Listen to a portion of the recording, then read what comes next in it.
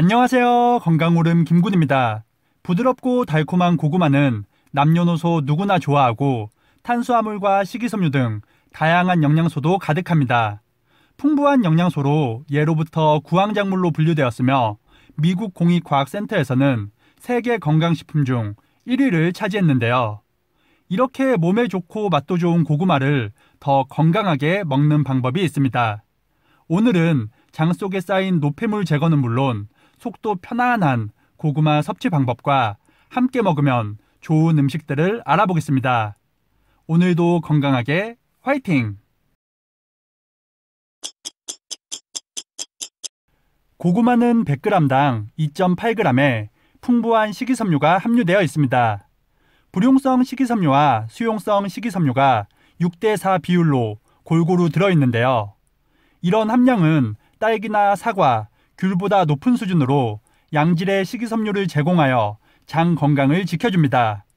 고구마의 식이섬유는 껍질에 더욱 풍부하여 껍질째 먹을 경우 변비 예방은 물론 장 속 환경을 개선시키고 장 속에 쌓인 노폐물 배출에도 효과적입니다.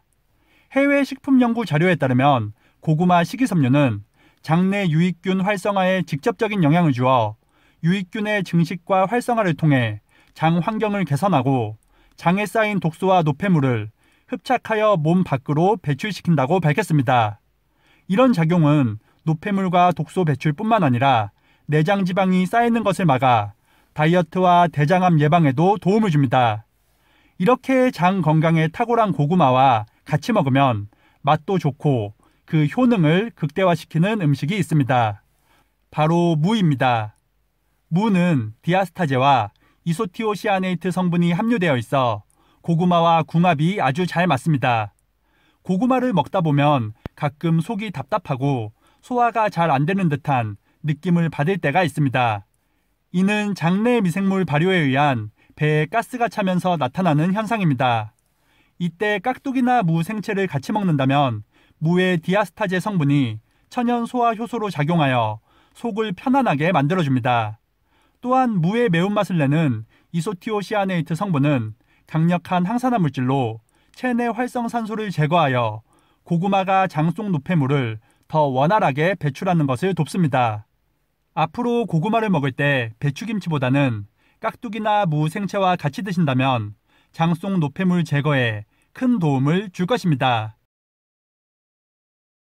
고구마와 같이 먹으면 더 좋은 음식.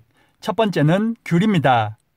고구마와 귤을 같이 먹는다면 면역력 강화와 감기 예방에 효과적입니다.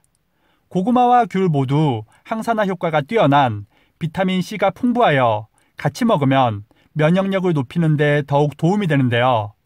귤 안쪽에 있는 흰색 귤락 부분은 팩틴이 더욱 풍부하여 장 속 유해균을 배출시키고 콜레스테롤 수치를 감소시키니 떼지 않고 드시는 것이 좋습니다. 겨울철 대표 간식인 귤과 고구마를 같이 드시고 면역력을 올리시길 바라겠습니다. 두 번째는 우유입니다. 고구마에는 여러 영양소가 풍부하지만 한 가지 아쉬운 것이 바로 단백질 성분입니다. 이럴 때 우유 한 잔과 같이 먹는다면 맛과 영양 모두 충족시킬 수 있습니다. 우유와 요거트에는 고구마에 부족한 단백질과 칼슘이 풍부하여 영양적으로 서로 보완이 가능합니다. 고구마의 퍽퍽함은 해결하고 균형 잡힌 식사로도 가능하니 꼭 같이 드시기 바랍니다. 세 번째는 토마토입니다.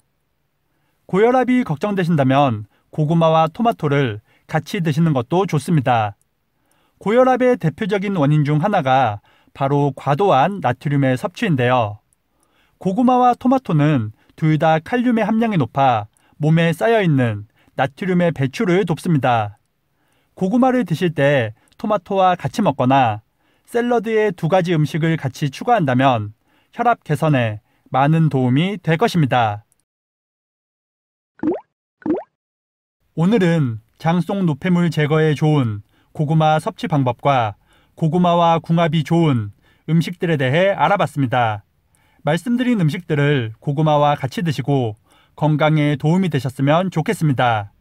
하지만 고구마는 당질과 칼륨이 풍부하니 당뇨가 있거나 신장이 약한 사람들은 과섭취에 주의가 필요하겠습니다. 오늘 영상이 도움이 되셨다면 구독과 좋아요 그리고 알람 설정도 부탁드립니다. 그럼 다음 영상에서 더 유익한 건강 정보로 인사드리겠습니다. 오늘 하루도 건강하세요.